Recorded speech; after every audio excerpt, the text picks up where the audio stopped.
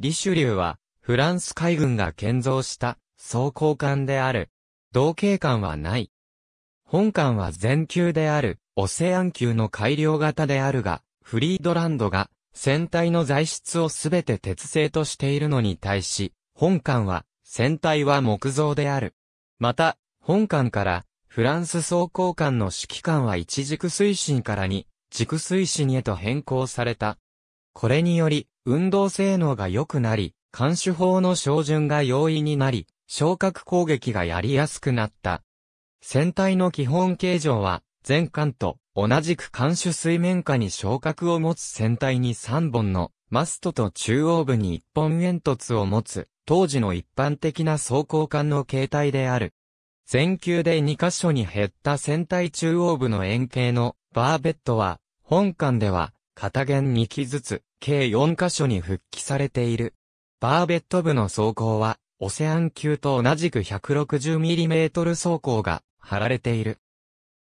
だが、そのバーベット内に収まるのは、1870年型 24cm 砲であるが、搭載数は、オセアン級の4機から、本艦は5機に増加しており、増加分の単装砲1機は、艦首側に開けられた砲門に内蔵されている。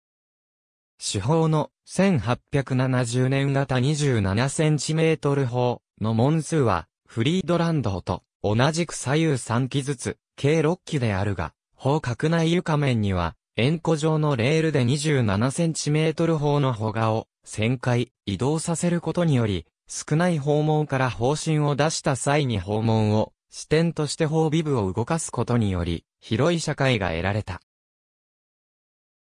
さらに、フリードランドに比べ原則に開けられた砲門の間隔が広くなっているために異界を広く取ることができた。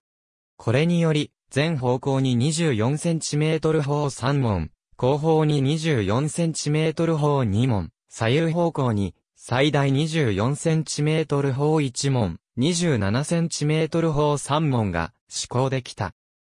他には、副砲として原則に 12cm 単装砲を10機を配置したが竣工後副砲を1870年型 14cm 砲を単装砲画で6門に換装し、雪原乗り込み時の戦闘用の 47mm 回転式後連装機関砲が単装砲画で8機から随時増設され18機まで増備された。